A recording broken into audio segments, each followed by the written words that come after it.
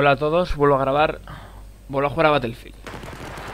Eh, de fondo vais a tener una partida que hasta el momento nunca había jugado- subido una partida con, con este arma, eh, la S23, que después de aquel gran parche que metieron, no, en el, no el de Final Stand, sino el último gran parche en el que bueno, corregía el, net- el netcode, balanceaba las armas, bueno, eh, mm, ha perdido un poco de esa superioridad que tenía ese, reinado, pero aún así eh, sigue siendo una de las mejores armas.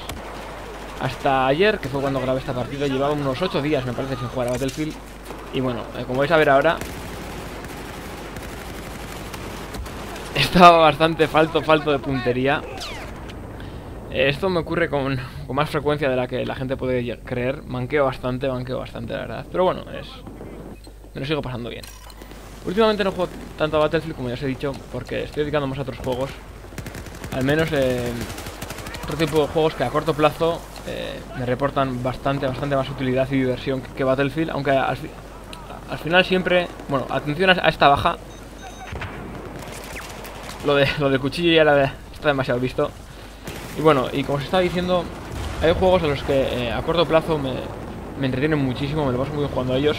Aunque al final, eh, para mí, eh, Battlefield eh, siempre será mi, juego favorito. Ya sea, ya vaya mejor o peor, o como en el día de ayer, la partida que estáis viendo de fondo, tiraba, pegaba unos tirones. si veis que de repente se, se congela la pantalla durante unos milisegundos, bueno, es prácticamente inapreciable, ¿no? Pero cuando estás jugando es bastante molesto. No es cosa de YouTube, no es cosa de mi... Bueno, de cuando he renderizado que ha quedado mal, no, era cosa del juego. Estaba jugando unos 70 frames. Cuando grabo juego a unos 70 más o menos. No sé por qué aquí estaba en 50 y de repente pues pegaba unos bajones a 24, a 13, eh, no sé. eh, ayer el juego la verdad que iba como una puta mierda.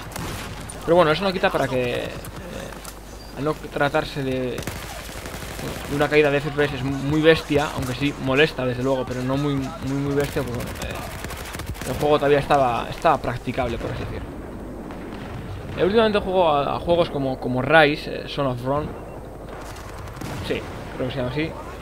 En, el que es otro tipo de pues, es juegos prácticamente o plenamente orientados a, la campaña. eh, al menos en modo multijugador todavía no he tenido la oportunidad de probarlo. Y bueno, eh, pues, eh, Arma 3, eh, a pesar de que es un juego mu- mucho más de multijugador, War Thunder, bueno, no sé, había dejado un poquito de, de lado Battlefield y ya me estaba empezando a entrar, a entrar un poquito de, pena, ¿no? Un poquito de, de morriña. En primer lugar quiero decir que eh, yo ah, mm, dudo, o bueno, no sé, no lo puedo asegurar a ciencia cierta, pero eh, me cuesta mucho creer que vaya a encontrar otro juego el, el que me enganche tanto como, como me ha enganchado Battlefield. Eh, Battlefield em- empecé con ello en, el mundo de en el mundo de PC y aquí intento aquí intento eh, desfibrilar a otro, pero digo bueno, no voy a ser que me maten como ya me había pasado alguna vez y no quería cagar. Como decía, Battlefield ha sido el primer juego al que al que empecé y la verdad es que me lo he pasado muy muy bien jugando. Eh, tengo muy buenos muy buenos recuerdos guardados. eh, algunos otros otros no tanto, quizás unas experiencias un poco más amargas en, en esos aspectos, pero bueno, en el cómputo global eh, ha sido bastante sat- satisfactorio. Y eso no quita para que de vez en cuando eh, haya otros otros juegos a los que le dedique también eh, cierto tiempo. Ya que pues bueno de la misma manera que Battlefield en su momento eh, otro tipo de juegos mm, pues me siguen divirtiendo bastante. Aunque como ya he dicho siempre acabo volviendo a Battlefield porque Battlefield es como es como el hijo predilecto no por así decirlo. Ahora con todo esto de que está en el Black Friday y, y todas las ofertas que están saliendo me estoy planteando el cogerme algún algún que otro juego para mí lo primero, eh, el juego lo que tiene que tener es eh, que me atraiga su, modo de juego, no su modalidad. eh, ya sea en multijugador, como es Battlefield, como lo es el Arma 3, em, o en campaña, ¿no? Como, como puede llegar a ser Rise, o pues, otros juegos a los que he jugado, ¿no? Un unos más antiguos que otros, los Dita Island, los...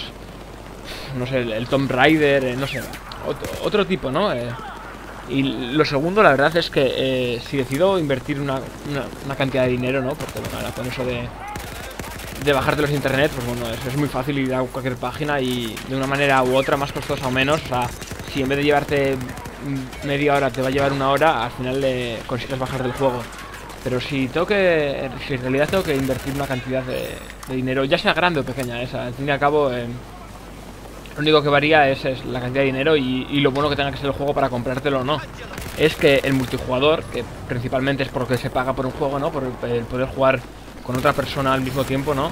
Y de una forma eh, que no hay problemas y pues, servidores oficiales o que no sea pirata o bueno, como queráis ver, es que el multijugador que, que esté vivo, ¿no? Que, que, no sea un multijugador que esté muerto, porque ya, ya me diréis vosotros para qué me sirve un juego que sí, que el multijugador está muy bien, que va perfecto, pero que no lo juega gente.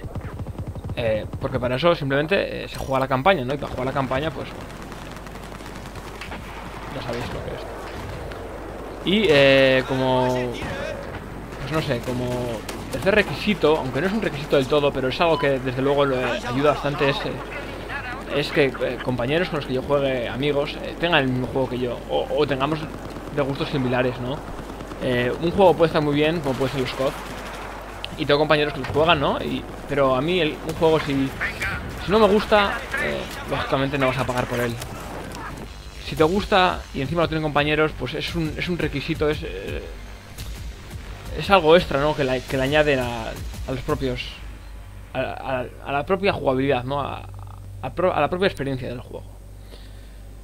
Y no, no, hay más que añadir, eso es, eso es lo que pienso al respecto sobre la decisión de, de invertir eh, X dinero en, en, un juego. No descarto traeros algún comentario sobre mi impresión sobre Rise o Shadow of Mordor, pero bueno, ya, veremos. Ya veremos. Lo dicho, espero que esta partida con la Ace 23 eh, os haya gustado y hasta la próxima.